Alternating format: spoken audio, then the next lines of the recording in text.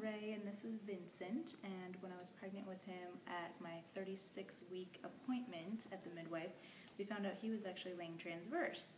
And so my midwife suggested that I check out spinningbabies.com and do some of the positions there to help um, get him in a more favorable position for birth.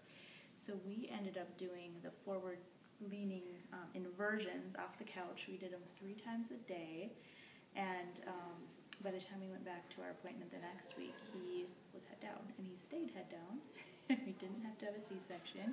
We didn't have to have a manual version at the hospital that they had scheduled for us, and um, he he came in a vaginal water birth as planned. So we're very happy, and I highly recommend spinning babies to anyone who has a baby that is in breech or transverse position.